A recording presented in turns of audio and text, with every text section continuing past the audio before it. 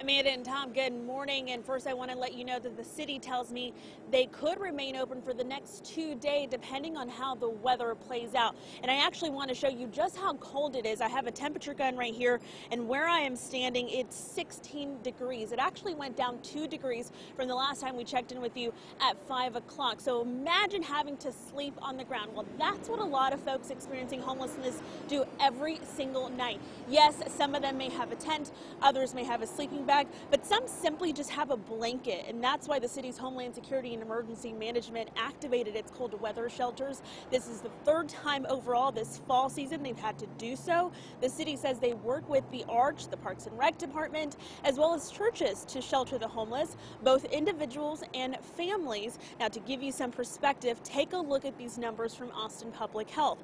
The first time the city activated its cold shelters on Veterans Day, they were able to help just under 260 people. The next day, on November 12th, 256. Then last week, the city provided refuge for 214 people.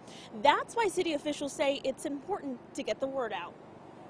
It's critical that, that both our efforts to let people know and as well as um, the efforts of, of the other agencies that, that touch uh, folks that are experiencing homelessness, that there are options for them on nights when it's especially cold.